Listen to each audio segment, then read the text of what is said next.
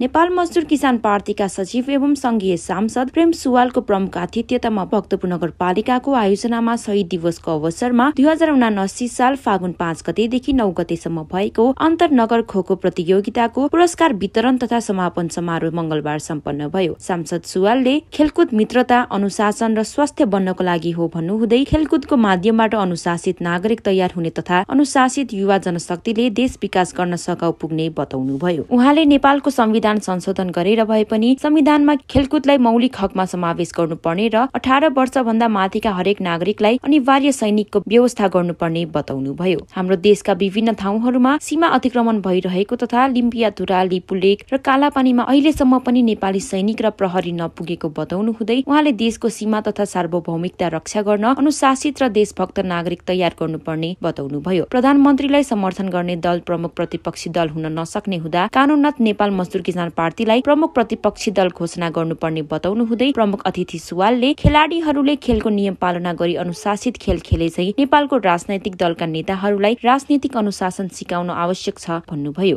हामी सबैलाई थाहा छ खेलकुद स्वास्थ्यको लागि हो अनुशासनको लागि हो मित्रताको लागि हो देशको सार्वभौमिकता रक्षाको लागि हो र यसकारण हामीले भन्दै आएका छौँ खेलकुद मैदान र व्यायामशाला धेरै भयो भने अस्पताल र स्वास्थ्य चौकी स्वास्थ्य केन्द्र थोरै भए पुग्छ।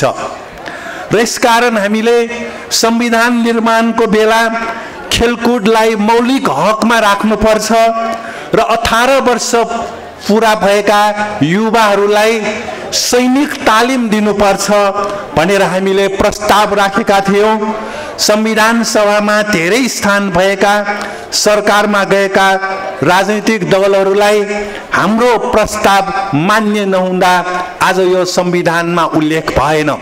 तर हामीले संविधान संशोधन गरेर भए पनि खेलकुदलाई मौलिक हकमा राख्ने र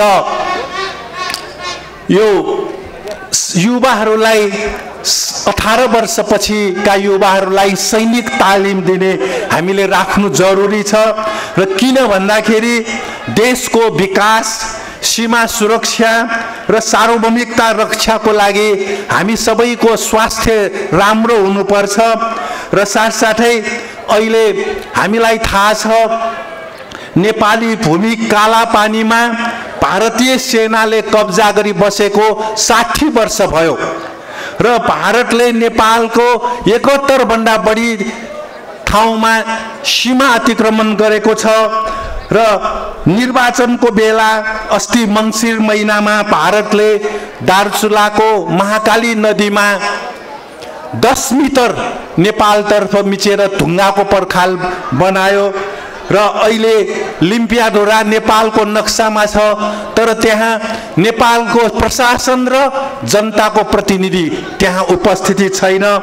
र साथसाथै बर्दियाको यहाँ बर्दियाको ठाकुर बाबा नगरपालिकाको पनि यो खोखो पुरुष प्रतियोगितामा सहभागी छ।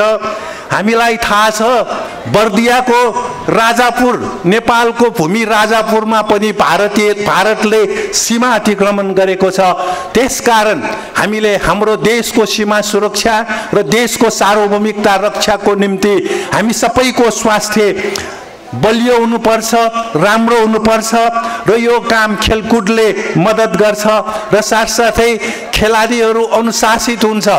युवा हुन् खेलाडीहरू र अनुशासित युवाले देशलाई विकास गर्न मद्दत दिन्छ। कार्यक्रमका सभापति एवं भक्तपुर नगरपालिकाका प्रमुख सुनिल प्रजापतिले प्रजातन्त्र पुनस्थापनाको लागि आफ्नो ज्यानको आहुति दिएका महान महान शहीदहरूको बलिदानको स्मरण स्वरूप भक्तपुर नगरपालिकाले प्रत्येक वर्ष फागुन महिनामा अन्तर्नगर खेलकुद प्रतियोगिता आयोजना गर्दै आएको बताउनुभयो। उहाँले भक्तपुर नगरपालिकाले आयोजना गरेको खो खो खेल प्रतियोगिताले राष्ट्रिय र अन्तर्राष्ट्रिय खो खो खेलाडी उत्पादन गर्न सहयोग पुग्ने बताउनु हुँदै युवाहरू देशको सार्वभौमिकता रक्षा तथा रक्षा गर्न सक्षम हुनुपर्ने बताउनुभयो। उहाँ शहीदहरूले देख्नु भएको त्यो सपना अहिलेसम्म नेपाली जनताले देख्न पाएका छैन हेर्न पाएका छैन।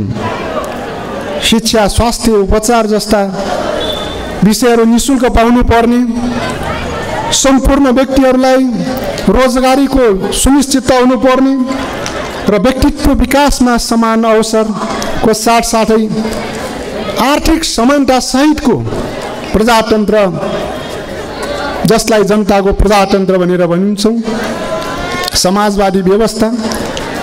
त्यो सपना उहाँहरूले देख्नु भएको छ। नेपाली जनतालाई अहिलेसम्म त्यो पाउन सकिरहेको छैन। त्यसैले शहीदको रगतको बलिदानबाट सरकारमा पुगेकाहरूले शहीदहरूलाई बिर्सँदै गए।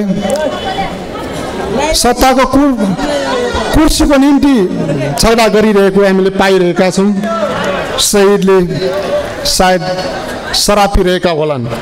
यस अर्थमा कमसेकम भक्तपुर नगरपालिकाले देश र जनताको निम्ति आफ्नो जीवन समर्पण गर्ने बलिदान दिने शहीदहरूलाई औपचारिकतामा होइन व्यवहारिक रूपले हामीले सम्झनुपर्छ।